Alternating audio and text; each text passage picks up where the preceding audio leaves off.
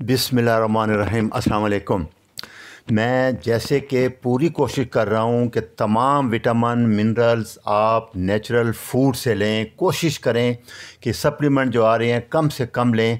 अगर ये चीज़ें आप ना ले सकें तो फिर मजबूरी है। तो मैं आज आपको बताऊँगा कोलेजन। ये बहुत इंपॉर्टेंट प्रोटीन है हमारे जिसम में, मसल में, बोन में, हड्डियों में पट्ठे टेंडन, स्किन खासकर, बाल, सब जगह इसका रोल बहुत ज़्यादा है। ये, इसलिए ये नॉर्मल भी तीस पैंतीस साल बाद ये इसकी प्रोडक्शन कम हो जाती है। एक तो बड़ी वजह डाइट है, दूसरा एजिंग भी है। तो अगर हम एंटी एजिंग फ़ूड जो जो चीज़ें आज मैं आपको बताऊँगा, इसको लेती रहें तो इसका बहुत फ़र्क पड़ेगा आपके बालों को भी और सबसे ज़्यादा स्किन को पड़ेगा फ़र्क।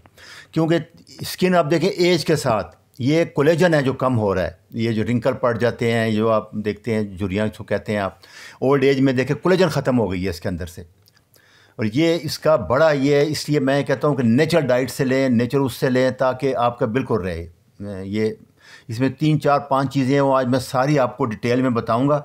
वो आप लेते रहेंगे तो स्किन और बाल, नाखून भी, इससे बड़ी परेशानी और ये सारे मेकअप चीज़ें जो हैं, इनसे आपकी जान छूट जाएगी गारंटी के साथ कह रहा हूँ। ये आप वही कर रहे हैं, जैसे कि मैं पिछले लेक्चर में बताता आया हूँ कि आप दरख्त के पत्तों पर चीज़ें मल रहे हैं। नहीं, दरख्त की जड़ में खाद डालें, जड़ में डालें न्यूट्रेंट ताकि पत्ते सही उतरें। आप अगर खुराक खाएँगे तो अंदर से स्किन बाल सही आएँगे। ऊपर मेकअप जो है, ये टेम्प्रेरी है। जो आप धोएँगे, वो उतर जाएगा। तो अंदर से डालें, जड़ में डालें चीज़ें, यही एम है सारा।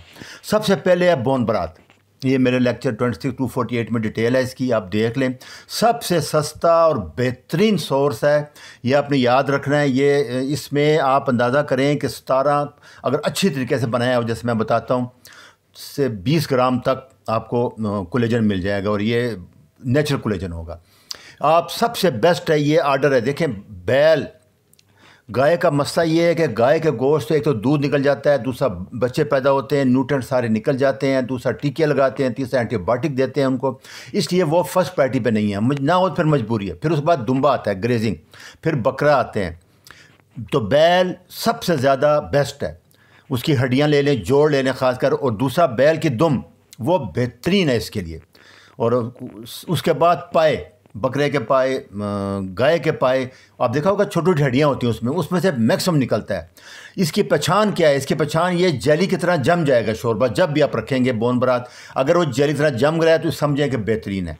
दूसरा, हल्की आँच पर मैं कहता हूँ उबले ना, ऐसा ऐसा पके दस, बारह, बीस घंटे, छत्तीस घंटे, ताकि वो विटामिन वगैरह डेड ना हो जाए ज़्यादा चीज़ें, कोलेजन ज़्यादा डेड ना हो जाए। हाई हीट पे करेंगे, कुकर में तो डेड हो जाएगी, वो टेस्ट रहेगा, लेकिन असल कोलेजन जो है ना, वो डेड हो जाती है।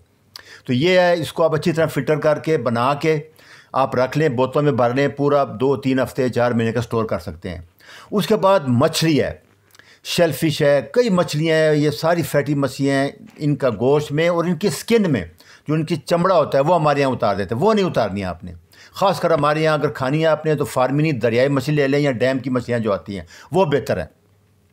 और मछली खा के उसका जो हड्डियाँ हैं, उसको फिर आप बोन बरा दोबारा बना सकते हैं उसमें। ये आप देख सकते हैं उसमें। फिर देसी चिकन है। इसका भी बेहतरीन ये जो यखनी हमारे यहाँ आम में बनाते हैं, इसका ऐसे करें आप पहले एक दो घंटा हल्की आँच पे यखनी निकाल उसके बाद उसका गोश्त निकाल के अलहदा कबाब बना लें, उसके बाद हड्डियों को दोबारा करके बोन बरात बना लें आठ छः से दस घंटे में। ये चिकन का, देसी चिकन का होगा पर ये इसका बेहतरीन बोन बरात बनेगा। उसके बाद कुछ चीज़ें ऐसी हैं जो कि कोलेजन बनाने में मदद देती हैं। जैसे कि विटामिन सी का रोल बहुत ज़्यादा है, आगे बाकी विटामिन भी हैं, एंटीऑक्सीडेंट भी हैं। तो विटामिन सी के लिए जो नेचुरल सोर्स है, टू फाइव फोर लेक्चर है, इसमें आप देख सकते हैं।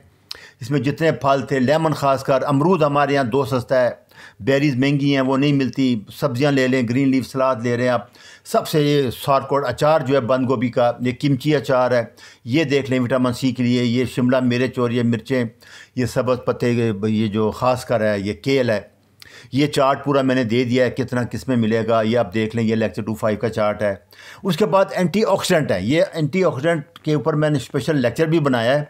आप देख सकते ग्रीन टी है सिनामून है पोमग्रेनेट है मलबरी है, ये ये जो जितने ये फल हैं, ये सारे इनकी वैल्यू बहुत ज़्यादा है। जैसे ये मलब शतूत है, ये ब्लैकबेरी है, ये ब्लूबेरी है, ये स्ट्रॉबेरी यहाँ आती है, बाकी नहीं आते, बाकी होते हैं बहुत महँगे। ये दारचीनी है। तो ये सारी एंटीऑक्सीडेंट भी उसकी हेल्प करती हैं। उसके अलावा जो बेस्ट बोन बरात के बाद जो चीज़ है, वो देसी अंडे में है। इसमें तीन अमाइनो एसिड है प्रोलिन है ग्लाइसिन है लाइसिन है, जिससे कोलेजन बनता है। और दूसरा इसमें और बहुत से विटामिन मिनरल होते हैं। ये बेस्ट है, आप तीन, चार, पाँच अंडे तक डेली खा सकते हैं। कोशिश करें कि जर्दी जो है, पकी ना हो, वो रनिंग हो, वो बहती हुई हो। ये, या फिर आप हाफ़ बॉयल कर लें। ये इसके लिए है। बेहतरीन है।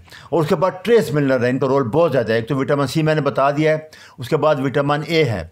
विटामिन ए का रेटिनॉल फार्म ये गाजरा वाला कैरोटीन है, वो नहीं, ये कन्वर्ट होता है बॉडी में लेस दैन वन परसेंट तो ये डायरेक्ट फार्म ले, ये कहाँ मिलेगा लिवर बीफ लिवर में, जो कलेजी है। दो तीन बोटियाँ ले लें, आपकी ज़रूरत से बहुत ज़्यादा, पूरे हफ़्ते का स्टोर आ जाएगा आपको। दूसरा ये ग्रास फिनिश्ड बीफ है। ये बेहतरीन गोश्त है, देखे पता लग रहा है। इसमें सारी चीज़ें आपको आ जाएँगी, जिंक आ जाएगा, मिनरल आ जाएगी, प्रोटीन आ जाएगी और थोड़ी बहुत जो है कोलेजन भी आ जाएगी। ये अलीव खाएँ। अलीव ऑयल के बारे में मैंने बताया था लेक्चर बनाया है कि बहुत मुश्किल है इसका फ्राड पकड़ना। इसकी लाइफ बहुत कम है लाइट में और टेम्परेचर में ये ज़ाया हो जाता है। हमारे यहाँ टेम्परेचर बहुत ज़्यादा होता है वैसे भी। तो बेस्ट यही है कि आप ये फर्मेंटेड ओलिव आ रहे हैं आजकल, ये खाएँ, इसमें बहुत कुछ मिल जाएगा आपको। दूसरा जो इक्कीसवीं सदी का सबसे बेस्ट विटामिन ई है, वो ट्रोकोटिनाल है। ये भी आ रहा है नया, ये भी इसी फ़ूड में है। ये लहसन गार्लिक वगैरह, ये हमारे जितने मसाले ज़्यादा आते हैं दालचीनी, ये बेहतरीन एंटी ऑक्सीडेंट इनमें नट्स में बहुत ज़्यादा होते हैं मैगनीज वगैरह, जितने मैं बता रहा हूँ, सारा आप ले सकते हैं। तो ये आप लगे रहें, ये कोशिश करें इसी से लें। ये बेहतरीन ये इस लेक्चर में सारा इसमें न्यूटन डेंस लेक्चर ये आप सुन लें कोलेजन के लिए। ये बोन बरात के लिए लेक्चर है आप, ये विटामिन सी का लेक्चर है, ये सुन लें। और रिसेंटली ये देखें चार्ट है, इन चीज़ों में विटामिन सी कितना है? हंड्रेड से टू हंड्रेड मिलीग्राम डेली लेना है आपने। ये देखें, ये रिसेंटली जो आया है, ये आमला हमारे यहाँ आता है। बाकी ये चीज़ें तो यहाँ नहीं मिलती, रोज़ ही पोड है। ये आमला में 720 मिलीग्राम में हंड्रेड दो आमले अगर आप खा लें तो पूरे दिन की रिक्वायरमेंट पूरी हो जाती है। तीन आमले ले लें आप, या चार आते हैं आंवलों का, वो भी ले सकते हैं आप। तो ये इसके बारे में वीडियो थी, इसको अच्छी तरह देख लें, समझ लें, कोशिश करें नेचुरल फ़ूड बाकी चीज़ें भी बहुत मिल जाएँगी आप। अच्छा जी, अल्लाह हाफ़